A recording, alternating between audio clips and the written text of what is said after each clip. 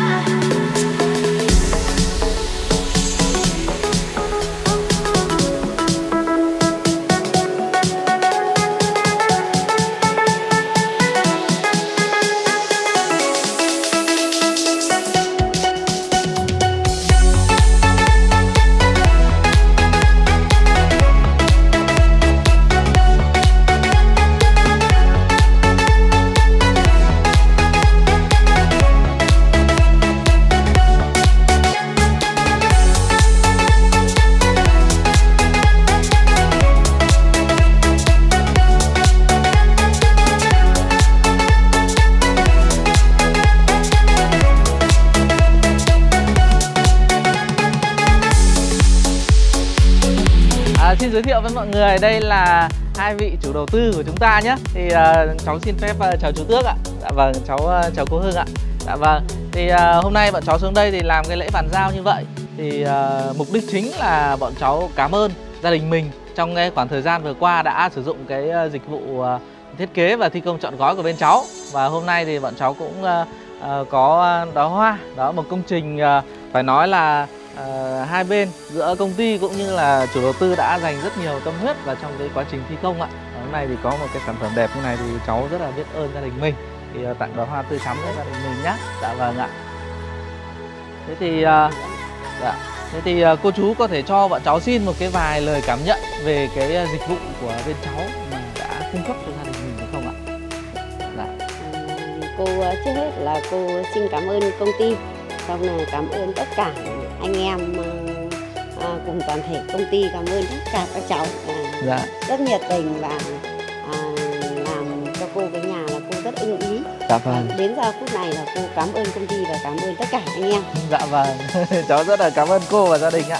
Thế thì uh, chú là người uh, cũng uh, dành rất nhiều cái tâm huyết vào trong công trình nhà mình từ cái quá trình lựa chọn đơn vị thi công cũng như là là đơn vị uh, những cái vật tư mà mình xuống trong công trình ấy và anh em cũng uh, cảm nhận với chú là uh, rất ổn thì chú có thể là uh, cho bọn cháu xin một vài lời cảm nhận về những cái thứ mà chú trực tiếp quan sát và trực tiếp hỗ trợ cho anh em trong quá trình thi công không ạ? thì um, nhà có nhờ công ty ủng hộ nhưng cái um, đầu tư và các cái uh, vật chất Ừ, thì như thế là cũng rất là thoải mái và chất lượng. Dạ vâng. cảm ơn công ty. Dạ và tất cả anh em uh, xây dựng Dạ. và giám sát Dạ vâng, cháu à, rất là cảm ơn cô chú. Thì à, à, khi mà thi công trọn gói như này thì phải nhờ rất nhiều vào chủ nhà trong quá trình là à, chúng ta xem những cái vật liệu có đúng như ở trong à, bản hợp đồng cung cấp đến cho nhà mình hoặc nhà mình lựa chọn hay không cô nhỉ? Thế rồi là hỗ trợ cho anh em trong những cái việc mà à, tổ chức thi công ở trong công trình. Thế và hôm nay thì à, à, như vậy thì cháu cũng có à, à, chai rượu sâm banh à, để à, cho gia đình mình thêm gắn kết với công ty và hy vọng trong à, thời gian tới thì à, cô chú sẽ à, à, tạo thêm điều kiện cho bọn cháu cũng như là cho bọn cháu được à, làm những cái ngôi nhà đẹp như thế này nữa ở khu vực khuôn viên nhà mình nhé. Dạ. À, dạ vâng. Cái này thì thực tế là ừ, cháu lúc mới cưới vợ phải mở phát đấy. Xây nhà là quý giá lại mở phát nữa. Và phát nữa đã được ạ. Dạ. Rồi ok.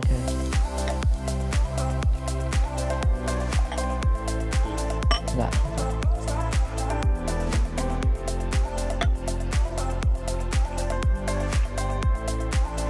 Làm này cảm giác cứ như là nhà của mình ấy. Cô chú ạ? Đã rất là có cái một cái cảm giác khác. Dạ. Cháu à, cảm ơn à, cô chú nhé. Dạ, dạ vâng ạ. Dạ. Cháu mời cô chú nhé dạ. Ờ, cháu với công ty à, sức khỏe Dạ. dào và sang năm mới là là phát huy làm được nhiều nhà đẹp hơn nhà cô nữa. Dạ vâng dạ. À, cháu mời cô chú nhé dạ. à, nhân đây cô chú cho mọi người xin một cái lời khuyên là chúng ta có nên à, lựa chọn cái dịch vụ thi công chọn gói không hay là chúng ta tự thi công xây dựng ạ? Đấy, thì chú cô chú cho cháu xin một cái lời khuyên sau khi mà chú đã sử dụng dịch vụ thi công chọn gói ạ cô à, theo cô là là cô cũng rất ưng ý và làm cái nhà này nên nếu mà à, cô làm rồi nhưng cô cũng khuyên mọi người là nếu mà sau này làm nhà là làm dịch vụ công ty chọn gói như thế này gia đình rất nhàn không vất vả không phát sinh.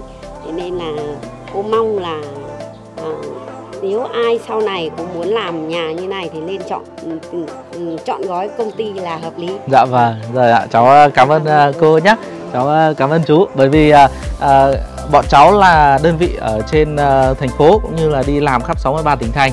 Thì có thể có những cái vật liệu mà mình à, chưa được tiếp xúc Nên là chúng ta sẽ có một cái cái cái cái cái vẻ đẹp nó khác hơn đúng không cô?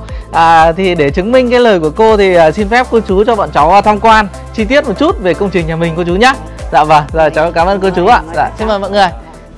Nếu mà các bạn có khuôn viên sân vườn khoảng tầm 500 mét vuông như vậy và muốn xây dựng một công trình chiều rộng mặt tiền là 10 mét, chiều sâu là 12 mét thì mọi người hoàn toàn có thể dành chút thời gian để nghiên cứu kỹ về cái công trình này hơn mọi người nhé. Đó và tổng mức độ đầu tư chi phí này để xây dựng lên công trình này thì cũng phải chia sẻ đến cho các bạn là với ờ, chi phí là trên 1 tỷ đồng. Mọi người nhé trên 1 tỷ đồng. Đấy là cách nói vui của chủ nhà dành cho những người hàng xóm cũng như là cho công ty chúng tôi. Thì à, à, phải nói vui như vậy bởi vì mỗi người mà dùng lại một loại vật liệu khác nhau nên nó ảnh hưởng rất nhiều tới cái chi phí giá thành. Nếu mọi người muốn biết chi tiết thì có thể là à, xin vui lòng liên hệ với chúng tôi qua số điện thoại Zalo bên dưới. Tuy là nó mất chút thời gian nhưng chúng tôi sẽ tư vấn sâu, tư vấn kỹ cho mọi người hơn về những cái công trình mà mọi người đang ước ủ và đang cật lực lao động làm việc đến 5 năm, đến 10 năm hoặc có thể là 2 3 năm để chúng ta xây dựng lên một cái công trình như vậy ạ. Thì uh, chúng tôi sẽ xin phép giới thiệu chi tiết cho mọi người nhé.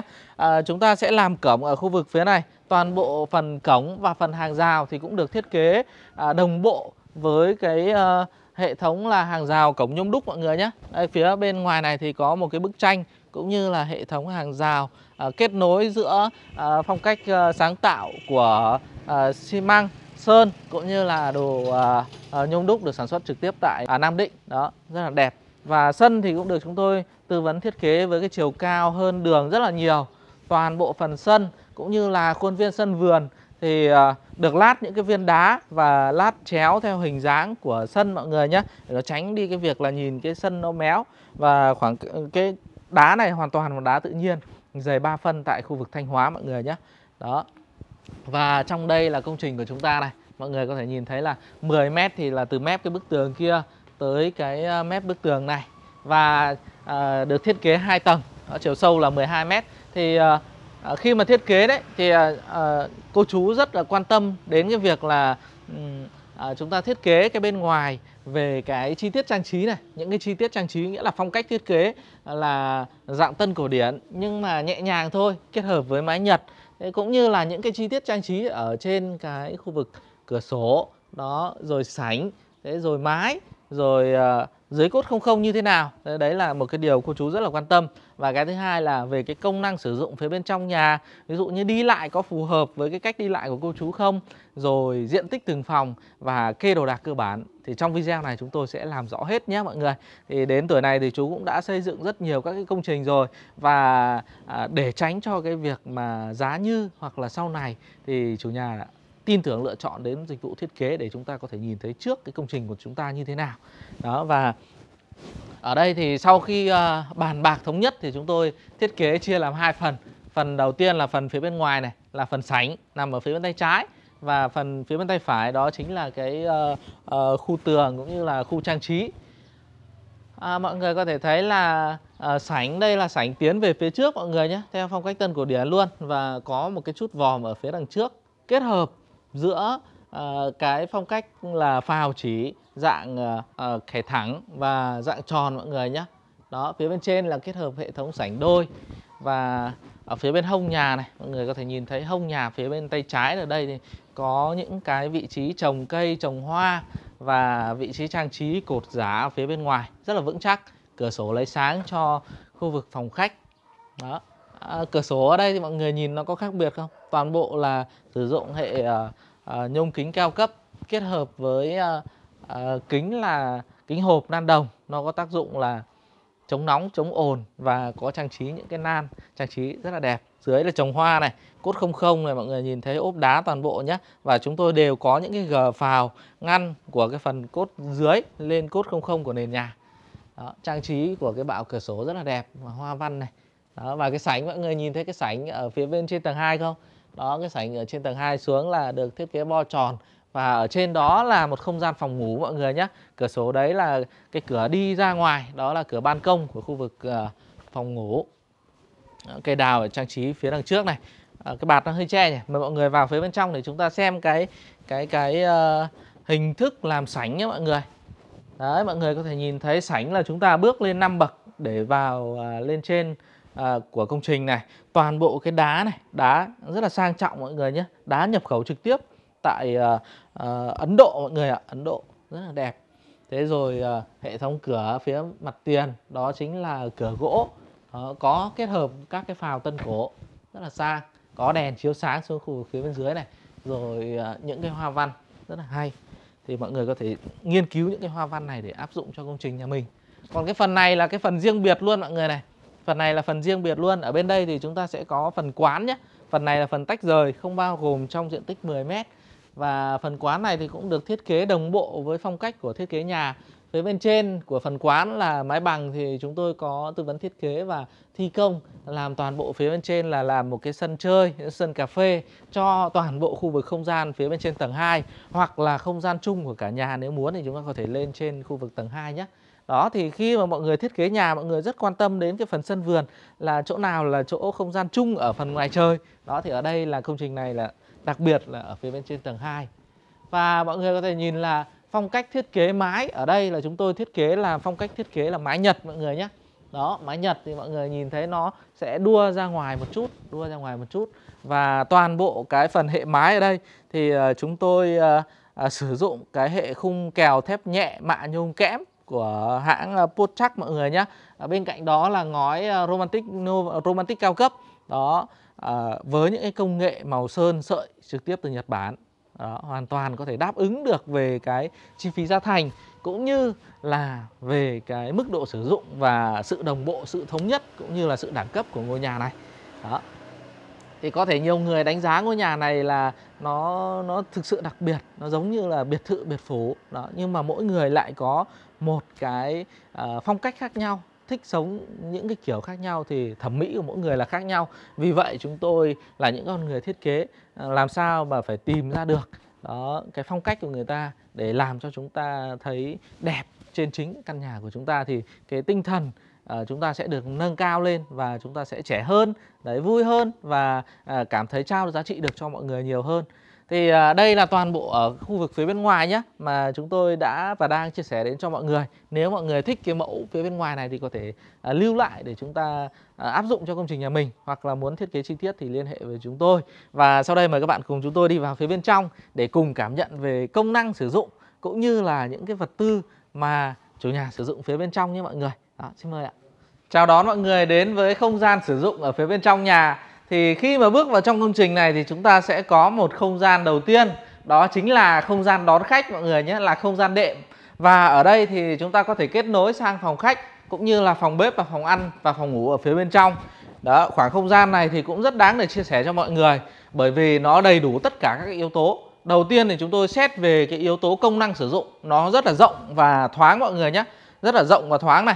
Chúng ta có thể đi lại bốn bề xung quanh, rất là tiện.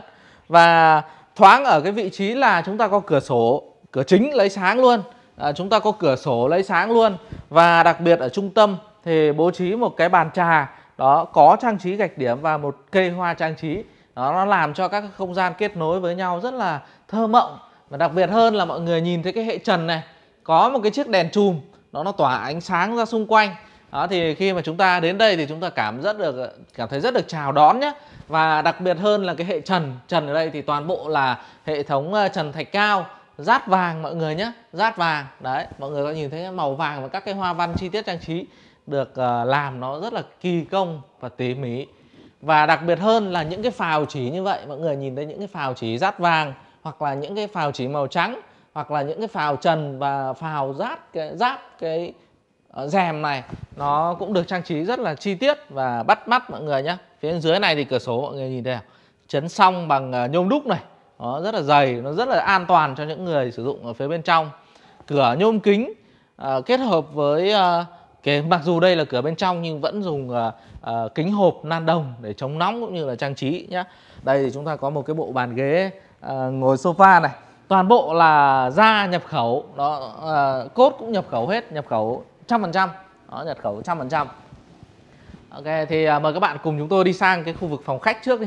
Chúng ta sẽ kết nối sang cái khu vực phòng khách. Đấy, thì trước khi vào phòng khách thì mọi người nhìn thấy uh, điểm giao nhau của phòng uh, không gian đệm và không gian phòng khách thì chúng ta cũng có một cái cửa trang trí ở phía bên trên. Đó một cái hình vòm trang trí và hai bên thì cũng được trang trí những cái hoa văn rất là đặc sắc và rát vàng luôn. Đấy đèn đón chào mọi người bước vào trong phòng khách này nhé thì ở trong phòng khách này thì không gian điểm nhấn chính đó chính là một bộ bàn ghế nhập khẩu đồng bộ. Đó một bộ bàn trà lớn đấy, một bộ bàn trà lớn. À, chúng ta có thể quây quần với nhau ở không gian phòng khách để chúng ta trò chuyện những cái câu chuyện vui. À, phía đằng sau thì chúng ta có hệ rèm hệ cửa sổ lấy sáng trang trí vào khu vực phía bên trong mọi người nhé đó thì có cửa sổ này thì các bạn phải lựa chọn cái hệ thống rèm cho nó phù hợp. Rèm ở đây cũng rất là đẹp này những cái chi tiết hoa văn trang trí của rèm rồi chúng ta giấu cái thanh dây rèm ở trong cái khu vực trần thạch cao. Nó không lộ cái thanh dây mọi người nhé đó, và bức tường này thì cũng là một cái bức tường khá là đau đầu này. Đó chúng ta phải trang trí như thế nào để cho nó nó đỡ bị trống trải mọi người ạ? Mỗi cái nó lại có một cái điểm chạm riêng. Nó làm sao nó không bị uh, rối mắt quá nhưng nó cũng không bị uh, thưa quá mọi người nhé Đấy, phía trên thì chúng tôi chia làm những cái ô tranh và có trang trí những cái phào cũng như là cái hoa văn rát vàng luôn thì để được có những cái thứ như này thì chúng ta phải phải suy nghĩ một chút. Hai bên là trang trí đèn này, trên là hệ thống chờ, trần thạch cao. Và đặc biệt hơn, ở cái chỗ ờ, bức tường đối diện với cái khu vực xem tivi này thì mọi người có thể thấy là ờ, chúng ta làm một cái bếp sưởi. Đó, một cái bếp sưởi. Ở đây thì mọi người nhìn thấy là chúng ta có một cái bếp sưởi. Đó, sưởi này theo phong cách châu Âu và nhà theo phong cách tân cổ điển mọi người nhé đó bây giờ đùa thôi. Đây là à, ấy thôi mọi người nhá trang trí thôi. Đấy, trên là toàn bộ bằng gỗ tự nhiên này. Đấy những đây là gỗ tự nhiên hết và được sơn màu trắng. Trên là kệ tivi. Còn đặc biệt hơn là cái bức tường này cũng được trang trí bởi hai cái đôn này để những cái cây trang trí. Rồi những cái đồ nội thất mọi người quan trọng đây nó đồ nội thất. Và mọi người có thể uh, nhìn xem thằng này nó là đá tự nhiên hay là PVC vân giả đá nhé mọi người.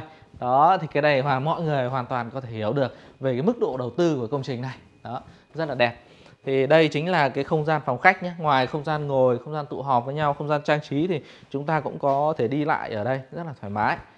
Đó. Và không gian tiếp theo thì là không gian phòng bếp và phòng ăn cũng uh, trang trí thiết kế đồng bộ theo cái khu vực chia giữa không gian phòng uh, không gian đệm và không gian phòng ăn. Trong phòng ăn này thì chúng ta có thể ngồi từ 8 người đến 10 người. Đó toàn bộ chất liệu thì cũng bằng uh, gỗ tự nhiên nhập khẩu nguyên chiếc và mặt bàn thì đấy mọi người nhìn thấy hàng nhập khẩu với mặt bàn nó bằng đá nó rất là đẹp nó rất là mềm mại mọi người nhé. Ở đây thì ánh sáng thì chúng ta có thêm ánh sáng của khu vực uh, cửa phụ đó khu vực cửa phụ. Và đặc biệt là chúng ta cũng giáp với cái khu vực cầu thang một không gian cũng rất là thơ mộng mọi người nhé. Khi mà đèn lên thì nó cũng rất là thơ mộng thế rồi phía trần thì chúng ta sẽ có hệ thống trần thạch cao dát vàng, đèn downlight chiếu sáng và hệ thống quạt để thông gió cho công trình đó. À, tất nhiên là cái việc ngăn cách giữa phòng ăn và phòng bếp thì chúng ta phải có một cái quầy bar. Cái quầy bar này thì ngoài cái tác dụng là à, chúng ta để đồ sau khi mà chúng ta nấu từ bếp chúng ta để ra đây sau đó chúng ta mới chuyển ra cái khu vực phòng ăn thì nó còn à, là cái nơi mà để chúng ta trang trí để những cái vật dụng nó ở dưới cái quầy bar này đó, dưới cái quầy bar này nó rất là tiện lợi và quầy bar này nó phải rộng đủ rộng để chúng ta có thể sử dụng nó một cách tốt nhất. Bên trên đây là cái hệ thống đèn trang trí xuống dưới này. Đó. À, trong đây thì là một cái khu bếp mà chúng tôi đã rất kỳ công thiết kế về cái phần nội thất theo phong cách tân cổ điển. Mọi người có thể nhìn thấy là từ cái vị trí tủ lạnh đó đến cái vị trí lò vi sóng rồi đến những cái vị trí uh, chậu rửa này rồi uh, uh, khu bếp nấu này đó cửa sổ lấy sáng vào trong này. Rồi đặc biệt là cái khu hút mùi. Đó khu hút mùi. Đấy, những cái chi tiết hoa văn rất là hay mà à, theo cái phong cách sống của gia đình chú ở đây đó là phong cách tân cổ điển nên chúng tôi thiết kế nó rất đồng bộ với nhau. Trần cũng thế giật cấp luôn. Và đây thì chúng ta sẽ có một cái lối hành lang xuống khu vực phía bên dưới.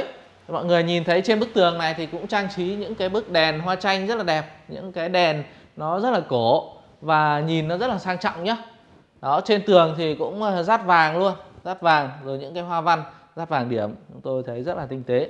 Và chúng ta sẽ có một cái lối này. Thì chúng ta có đi thẳng này là xuống cái phòng uh, ra ngoài sân mọi người nhé đấy là lối thoát hiểm.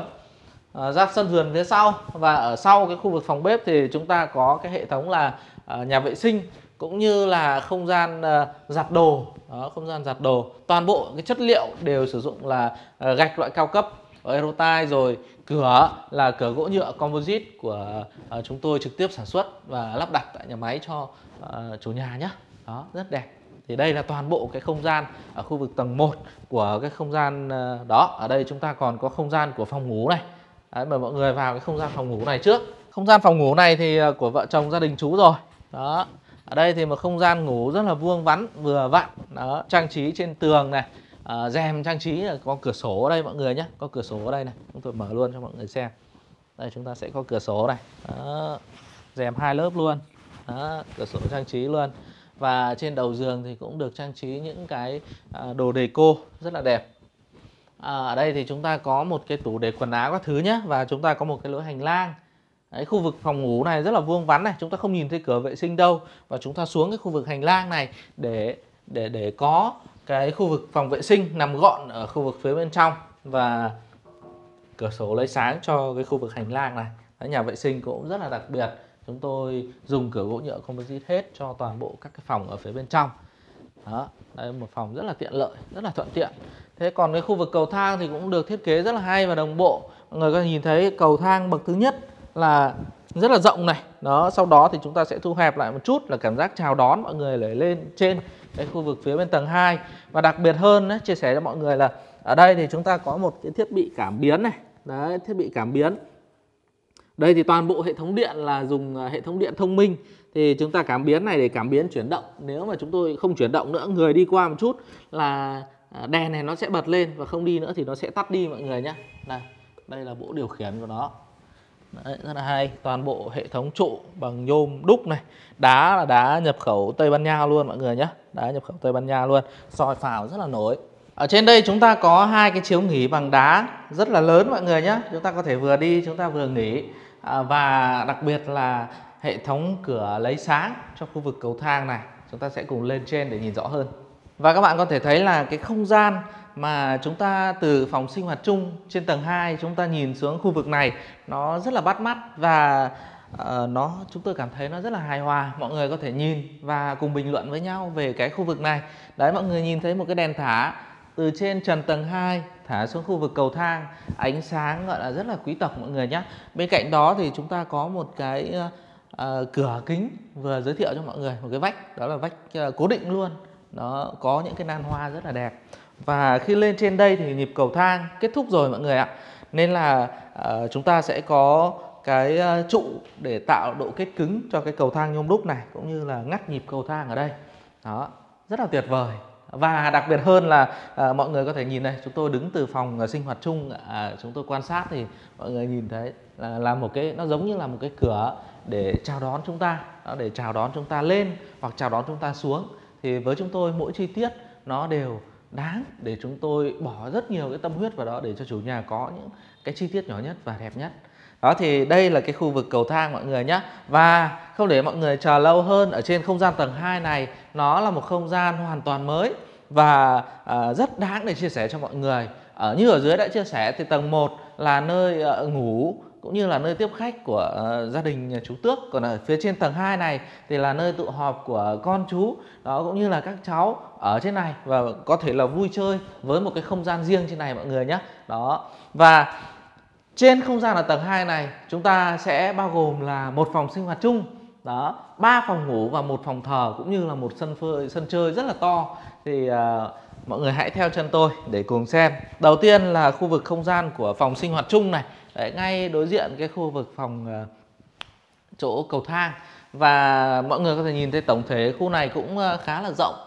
Đó và toàn bộ cái nội thất của khu vực phòng sinh hoạt chung này uh, chúng tôi có dùng những cái bức tường trang trí thêm những cái phào PU đó những cái phào PU rất là đẹp kết hợp với hệ thống trần thạch cao. Và Ờ, trần thạch cao giật cấp cũng trang trí phào chỉ luôn quạt trần rất là hợp với cái phong cách bố trí về màu sắc trên tường này nhiều người chắc đang thắc mắc là Ủa thế dùng toàn màu trắng như này thì thế nào? Thì mọi người nhìn thấy màu sắc rất ok đúng không? Bởi vì ở đây là toàn bộ sử dụng hệ thống sàn gỗ cũng như là đồ nội thất gỗ. Cái sàn gỗ sử dụng sàn xương cá này, màu vân gỗ nên là nó trung hòa được với cái màu trắng sứ ở trên tường. Đó. Và à, đồ nội thất bằng gỗ cũng vậy. Bên cạnh đó thì nó còn được trang trí bởi mọi người nhìn thấy một cái cửa không? Đó, hệ thống rèm rất là đặc biệt. Rèm này nhá, rèm này mọi người nhìn này, có những cái chi tiết trang trí này rất là đẹp đúng không? Trên này là còn có hình vòng cung phù hợp với cái phong cách ở trong nội thất trong căn nhà và rèm của chúng ta là rèm hai lớp phía bên trên là dấu thanh dây nhé mọi người không nhìn thấy thanh dây đâu nhé trên đây nó còn phải có một cái thanh dây này để chúng ta đóng rèm mở rèm nhé đó chúng ta kéo rèm này có thể kéo hẳn ra như này đó và phía bên trên là tre luôn bằng thạch cao rất là xinh xắn. Ờ, các cái vị trí thì cũng được anh em kiến trúc sư thiết kế cho chủ nhà chi tiết từ khi có bản vẽ thiết kế nhà nhé à, ờ, chúng ta sẽ có một cái cửa đi ra ban công cái khu vực phía bên ngoài. Ban công ở ngoài là hoàn toàn khác biệt. Cửa ở đây là ờ, cũng cửa nhôm kính rồi ờ, kính hộp nan đồng.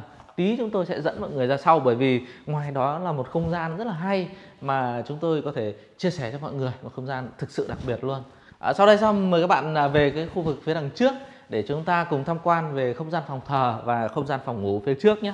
Đây mọi người có thể nhìn thấy là chúng ta có một cái lối không gian đi lại khá là lớn. Đó, chúng ta sẽ có thể đi về phòng thờ phía đằng trước hoặc là sang phòng ngủ ở phía bên trên phòng khách. Thì à, chúng ta đi vào phòng thờ trước mọi người nhé. Đó, phòng thờ này thì không có cửa. Đấy, chúng ta sẽ có thể kết nối trực tiếp vào cái khu vực phía bên trong. Đó, đây là cái nội thất phòng thờ à, vào đây thì ờ, chúng tôi vừa thấy về cái mức độ tâm linh cũng như là vừa thấy rất là đẹp. Bởi vì mọi người nhìn thấy phòng thờ này đủ cái yếu tố về ánh sáng cũng như là lối đi lại xung quanh.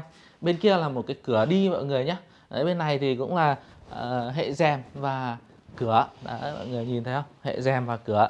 Đấy chúng ta khi uh, thắp hương hoặc là lễ cúng chúng ta sẽ mở ra. Đó rất là thoáng. Thì ở phòng thờ này thì uh, chúng ta sẽ kê được vừa một uh, uh, bộ bàn thờ. Đó một bộ bàn thờ rất là đẹp.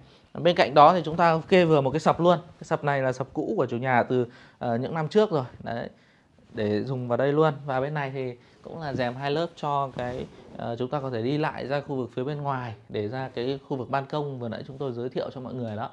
Thế rồi ở đây thì chúng tôi có được thi công chọn gói toàn bộ cái phần phòng thờ này bao gồm từ những cái cửa võng này những cuốn thư rồi những cái vách ốp như này đó toàn bộ bằng ờ, gỗ hương mọi người nhé rất đẹp. Ở phía bên trên thì ờ, cũng là hệ thống trần thạch cao giật cấp và trang trí những cái đèn theo hình thức tâm linh. À, mọi người hãy cùng à, nhìn à, lên trên tường cũng như là về sàn và phần cửa trang trí. Cũng rất là đẹp và đáng để mọi người quan tâm nhé cửa ở phòng thờ này thì chỉ lưu ý cho mọi người một điều là à, cái phần dập cấp này à, chúng ta nên à, À, thi công đá thì nên giật cấp một chút và có cái len đá thì nó sẽ sẽ sẽ chống được nước hắt vào phía bên trong. Đó thì mời các bạn ra ban công của khu vực thờ riêng nhé. Đó. Ở ban công này rất là rộng này. Đó ban công này rất là rộng này. Mọi người có nhìn thấy ban công thoải mái chúng ta ra đây có thể kê được một cái bộ bàn ghế ngồi với nhau ở đây nhá thế rồi uh, lan can rồi hệ cột cũng rất là đẹp và mọi người có nhìn sang cái khu vực phía ban đầu ấy nhìn ở đây có một cái chiếc đèn trang trí này. Đó. rất là mê ly. Và ở đây thì chúng ta cũng có thể trò chuyện hoặc là trao đổi với uh, cái ban công ở khu vực phía bên phòng ngủ nhé chúng ta nhìn trực tiếp đấy cũng có thể kết nối sang ban công ở khu vực phía uh, sân chung kia luôn. Đó đây là cái phòng thờ phòng rất là đẹp. Đấy thì nếu mà mọi người có cái chi phí hoặc là có cái diện tích nhà mà đủ lớn thì mọi người có thể tham khảo cái phòng thờ này của nhà chú Tước nhé sau đây mời các bạn cùng chúng tôi đi vào tham quan cái phòng ngủ đầu tiên này có vệ sinh khép kín luôn ạ. Wow, lối đi vào thì cũng ờ, được trang trí những cái bức tường nhá có vào và toàn bộ cái màu sắc ở trong khu vực phòng ngủ này. Đó cũng là một màu trắng tinh khôi kết hợp với các đồ đạc nội thất. Trong đây thì chúng ta cũng có một phòng vệ sinh khép kín. À, cửa của nó thì ở khu vực phía dưới chân giường. Đó và đây thì chúng ta có giường này có vách trang trí đầu giường rất đẹp thế rồi chúng ta cũng có một cái ban công ấy. Vừa nãy mọi người nhìn thấy một cái ban công ấy. Buổi tối chúng ta mở ra rất là mát nhé tối chúng ta mở ra thì rất là mát. Đấy mọi người thấy không? Đấy ok. Rất đẹp. Và đặc biệt hơn là cái cửa này là hình vòm luôn này. Mọi người nhìn thấy chưa? Hình vòm luôn nhá. Đó. Và chúng ta có một cái ghế ở đây. Mọi người biết cái ghế này để làm gì không? Ghế này chúng ta đi giày đi đi dép đi tất. Đấy, hoặc là chúng ta mặc quần áo chẳng hạn này đây chúng ta có một cái bàn à, trang điểm ở đây. Đó một bàn trang điểm đây. Và chúng ta có thêm một cái phòng vệ sinh ở đây. Cái phòng vệ sinh này thì nó uh, nhiều người có thích vệ sinh ở phía bên trong nhà nhưng người nhiều người không thích. Thế mọi người có thể là suy nghĩ lại về cái phòng vệ sinh này. Bởi vì phòng vệ sinh này là nó rất ok. Uh, cửa toàn bộ là cửa gỗ nhựa composite chúng ta không nhìn được vào phía bên trong. Và đặc biệt hơn là nó giống như là một cái cửa phòng hoặc một cái cửa ra vào luôn. Nên là cảm giác của chúng ta sẽ khác luôn mọi người nhé đó rất là hay. Ok, đấy là cái phòng ngủ đầu tiên. Chúng ta sẽ tiến tới ờ, hai phòng ngủ ờ, phía đằng sau nhà cũng như là ờ, một phòng vệ sinh ở khu vực phía dưới đó nhé. Đây, chúng ta có một cái hành lang này. Hành lang này và phía bên trái hành lang thì chúng ta có một phòng ngủ. Phía bên phải hành lang chúng ta có một phòng ngủ.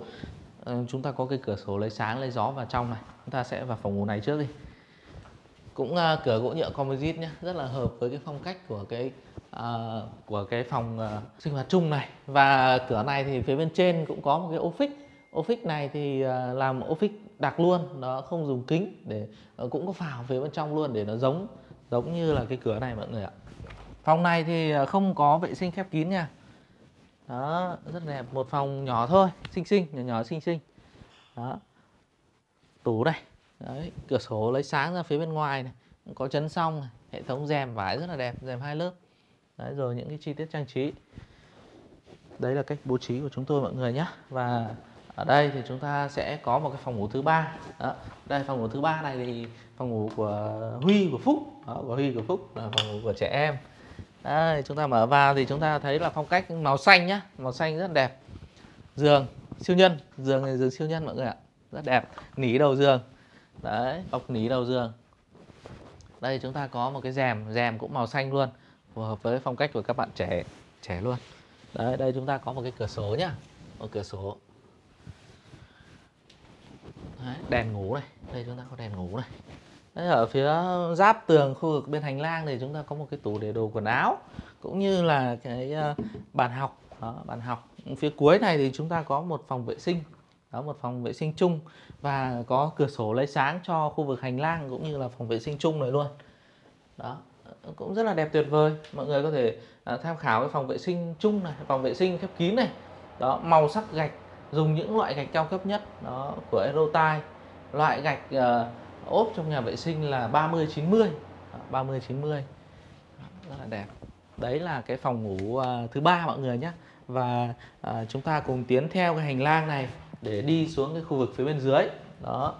Ở đây mọi người có biết tại sao là chúng tôi không đẩy hết toàn bộ cái tường của nhà vệ sinh này ra đây đi cho nó rộng hơn đi? Ờ, bởi vì phòng vệ sinh này cũng rất là rộng rồi nó theo cái chiều dài của cái phòng ngủ này. Và chúng ta sẽ có không gian đi lại chỗ cửa phòng vệ sinh này nó thoáng hơn. Đó nó không bị chật nó không bị bí bách mọi người nhé.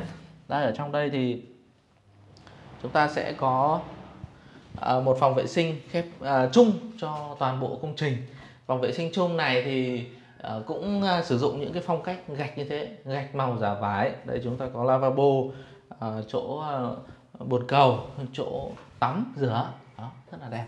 Đấy, thế nên là đến với chúng tôi thì mọi người không chỉ là được tư vấn về những cái vật liệu mà chúng ta còn được tư vấn về cái phong cách đi lại bên trong.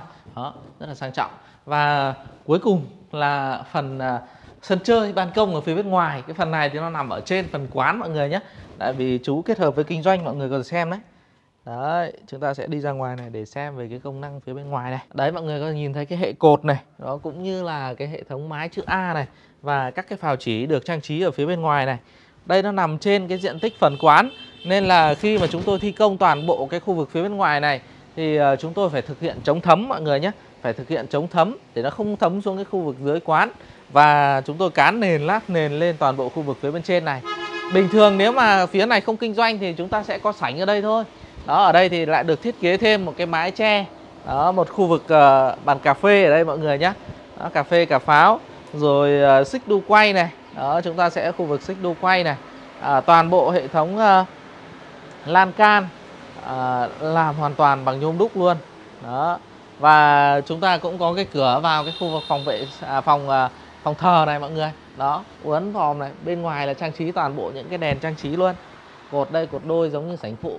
Và đặc biệt hơn là tất cả những cái chi tiết trang trí bên ngoài mặt tiền này cũng được chúng tôi làm rất là cầu kỳ tỉ mỉ. Bởi vì không những uh, hàng xóm láng giềng hoặc là mọi người đi qua có thể chiêm ngưỡng được mà chính chủ nhân của ngôi nhà khi mà ngồi đây cà phê cà pháo thì cũng có thể ngắm được chi tiết cái ờ, công trình của nhà mình đã bỏ ra bao nhiêu tâm sức, bao nhiêu tiền của để xây dựng nên một cái công trình tuyệt vời như vậy ạ. Vậy là các bạn đã vừa tham quan với chúng tôi toàn bộ về một công trình biệt thự 2 tầng theo phong cách tân cổ điển à, được chúng tôi à, thiết kế và thi công trọn gói cho gia đình nhà chú Bùi Trần Tước tại à, khu vực à, huyện Đoan Hùng, tỉnh Phú Thọ. Thì à, rất là vinh dự khi mà mọi người đã bỏ ra rất nhiều thời gian xem đến cái đoạn này rồi. Thì à, hy vọng chúng tôi sẽ có thể trao được giá trị đến cho mọi người không chỉ là phần thiết kế cũng không chỉ là phần thi công mà từng phần thi công một những cái bích lưu ý nhỏ hoặc là chúng tôi sẽ trao giá trị cho mọi người thôi. Mọi người thấy hay mọi người thấy thích thì à, mọi người hãy đăng ký kênh để chúng ta nhận thêm nhiều video chia sẻ khác nhé. Xin chào và hẹn gặp lại mọi người ở những video chia sẻ lần sau của chúng tôi ạ. Xin chào. Công ty cổ phần kiến trúc Kisato là công ty hàng đầu trong lĩnh vực thiết kế, thi công xây dựng chuyên nghiệp, phục vụ khách hàng trên khắp 63 tỉnh thành. Chúng tôi có các trụ sở trải dài từ Bắc, Trung, Nam với văn phòng Kisato Hà Nội, Văn phòng Kisato Ninh Bình Văn phòng Kisato Đà Nẵng Văn phòng Kisato Thanh Hóa Văn phòng Kisato Thành phố Hồ Chí Minh Văn phòng Kisato Đồng Nai. Đặc biệt, Kisato còn tiên phong đi đầu trong việc tạo ra những ngôi nhà trải nghiệm để khách hàng có thể trải nghiệm trực tiếp sản phẩm nội ngoại thất với đa dạng phong cách khác nhau. Kisato định hướng phát triển thành tập đoàn xây dựng hàng đầu khu vực, không ngừng đổi mới sáng tạo với triết lý phục vụ, làm đẹp từ tâm.